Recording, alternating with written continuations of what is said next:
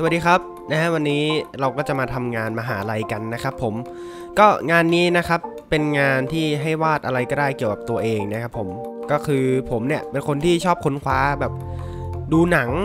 ดูการ์ตูนดูอะไรก็ว่าไปนะฮะแล้วก็จับเอาความน่าสนใจของสิ่งสิ่งนั้นนะฮะเอามา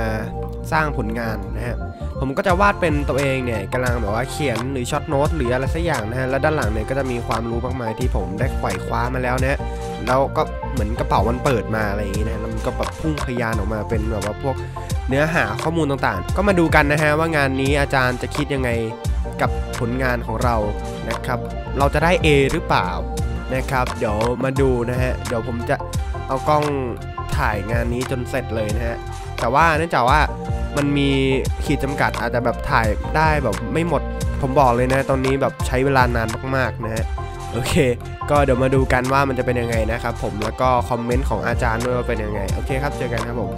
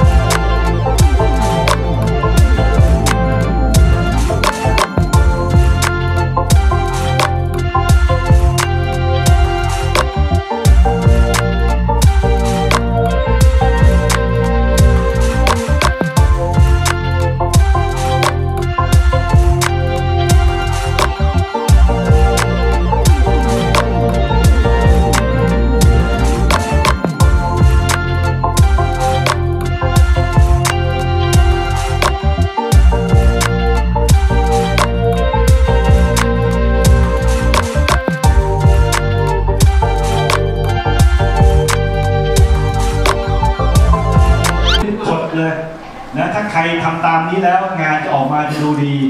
นะครับ แต่เดี๋ยวนี้เห็นบอกศิลปินมันอยู่นอกกรอบแล้วทำลายกรอบทุกอย่างอะไรที่เป็นกฎเป็นเกณฑ์โอ้โหโคตรหล่อเลยใครอะไหนดูโอ้โหโอเคหล่อจริงๆตัวจริงก็หล่อใช้ได้เลยนะโอ้อันนี้ตัวฉางจริงๆนะเป็นนักเขียนการ์ตูนที่ยอดเยี่ยมมาก มีทั้ง Star Wars Star Wars หนังผีหนังมังกรมังกรหยกอะไรเต็มไปหมดเยี่ยมเยี่ยมเยี่ยม